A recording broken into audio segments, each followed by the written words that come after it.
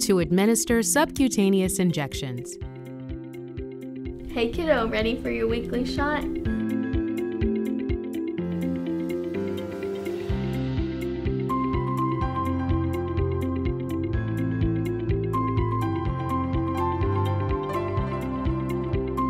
Do you remember where we gave your shot last? In my right arm. A subcutaneous injection can be given in the following places back part of the upper arm, front or side of the belly. Make sure the shot is at least inches away from the belly button. Always avoid any surgical scar or other injury. Middle front or middle outside of the thigh. Don't forget to rotate injection sites weekly or daily if given every day. Prepare to give an injection. When preparing to give an injection, the first step is to make sure you have all your supplies. Alcohol wipes to clean the skin, the medication, a sharps container, and a band-aid just in case.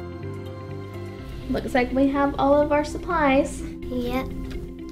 All right, let's get started. Before giving the medication, read the label to make sure you have the correct drug. Check the expiration date. Do not use if it is expired. Do not use if there are crystals, sediment, particles, unusual color, or cloudiness in the drug. If you have a pen, you will take off both caps. Verify which end is the injector button and which end is the needle, and get ready to give the injection. Before giving the medicine, be sure to wash your hands. First, you're going to clean the injection site. Let it dry. Pinch up. Go at a 90 degree angle.